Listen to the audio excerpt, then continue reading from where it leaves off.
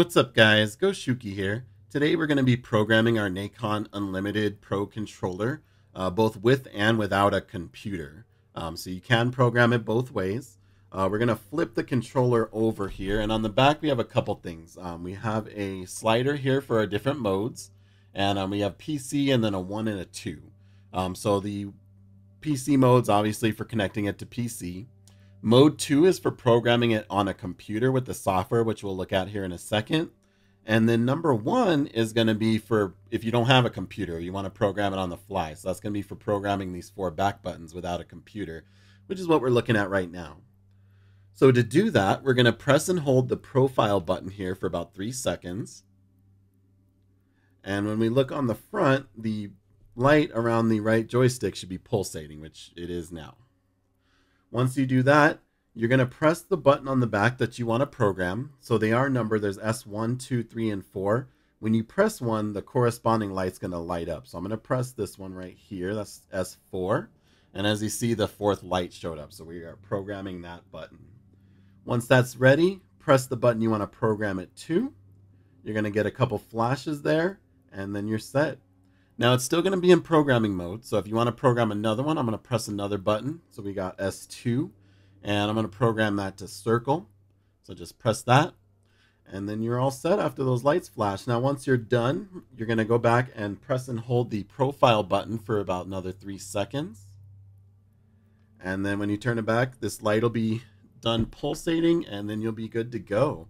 Um, so we can test it out here. So I'm not going to press any face buttons. I'm going to select my Titan here to log into Destiny and press the back button. And there you go. It worked. So pretty simple. We're going to switch over to the computer software and show you how to do that there as well.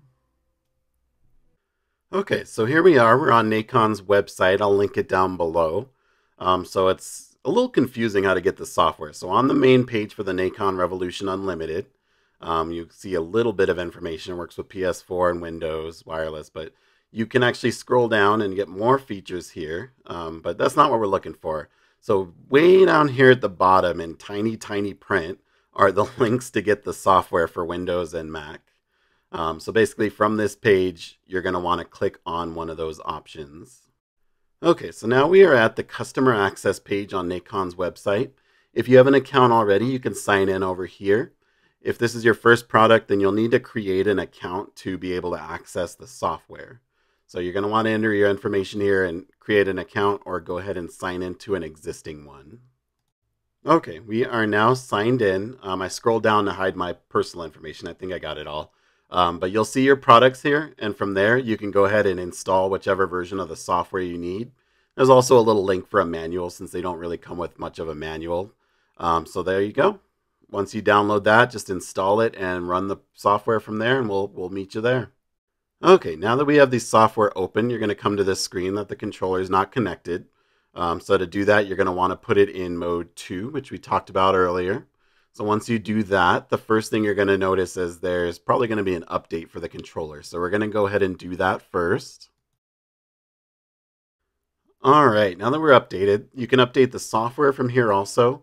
And there's also an option to update the dongle. So we will plug that in and update that later if there's an update available, but definitely want to do that first. So looking over here now, we have options for PC and PS4, so you can program both there. Um, so we're gonna go ahead and let's see, we got our profiles, edit program profiles. You can download and share them. All right, so we're gonna create a new profile here.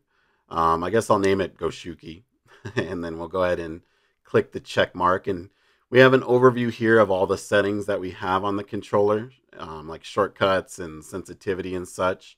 Um, but we're going to go through each one individually. So, um, oh, cool. Down here we have a test area too. So we'll check that out. So we got the left stick first, so you can kind of test out different things with the left stick and see what you like. Um, I typically on the Nacon 1 and 2 just like the regular response curve. Um, over here we have sensitivity. So you can have it a higher or a lower sensitivity. So you can kind of test out and see what you like per game. So you can kind of see what it what that does here. We also have the option to reverse the y-axis on your sticks, which is it's pretty cool. Um, I usually would do that in game, but we also have the option to change the dead zone. So you can kind of set that up. And then you have, but down here we have the option to undo, save, test, and then sync to the controller. So that's just a quick look at the left stick. Uh, we also have the right stick over here. So same kind of thing. So dead zone, sensitivity, all that stuff for right and left. Then this one, the third option is going to be your options for programming your buttons. And as you can see, you can program just about any button on this controller, which is awesome. So you're going to basically click the one you want to change, and then on the controller itself, you're going to press the button you want to change it to. So I'm going to set up how I usually have my controllers. So I like X over here on the right side, circle on the left. Um, let me see, this is right up. So I think I like triangle on that one. Yeah, triangle. And then um, square on this side. And then um, you can set those up and any way you want. You got your settings for your D-pad. You can have it go four-way or eight-way, so that's pretty cool there as well. Um, so you can test that out, and then you can actually reverse the joysticks, make the right one the left one, and the left one the right one, which is interesting. I don't know what situation that would be good in, but definitely good to have. So we're going to save that. Now we got the triggers. So it doesn't have physical trigger stops, but you do have digital software ones. So I like mine at about 50. So we're going to test 50 out, see how that goes. So that means if I press the stick down halfway, it's going to count as me pressing it all the way and help me shoot quicker. So let's go ahead and save that.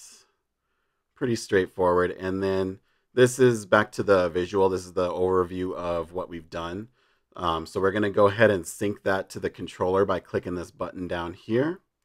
And then we're set. So I want to jump in the test area and see how that is next.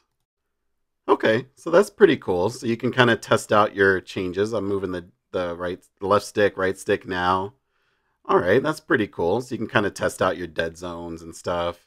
Um, D-pad, you can check that out. That's pretty cool. Um, also the triggers. Can we test? oh, we can test out the vibration too. That's pretty cool. Awesome, awesome. And um, yeah, the buttons seem to be working. Um, triggers, triggers are working. I'm pressing about halfway, and I'm getting the full press. So yeah, pretty cool. A lot of a lot of stuff you can test out in here. Okay, so back on the main menu, I wanted to make sure we got everything. So we got our profiles here. We can edit and change the settings on those. And um, cool, we got our four. We can create new ones. We can edit We can download and share. Let's kind of see if anyone's, I'm curious if anyone's made any profiles. So it takes us to their website. Oh, cool. So yeah, there's there's ones for Apex, Fortnite, Division. Cool. So definitely some ones to try out if you're um, having some trouble finding the right settings for you in a game. So cool. Anyway, let's go back to the software.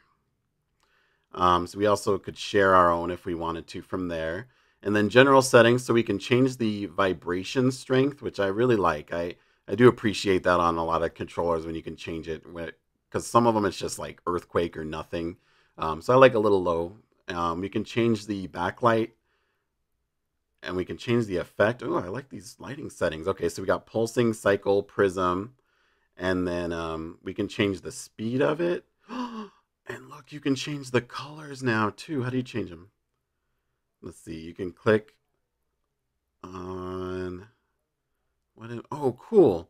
You can change different side. Oh man, this is so cool. Okay, all right. So you can change. Let's see. We can change that one to blue. Um, we can change this one to I don't know yellow. And let's see what that looks like.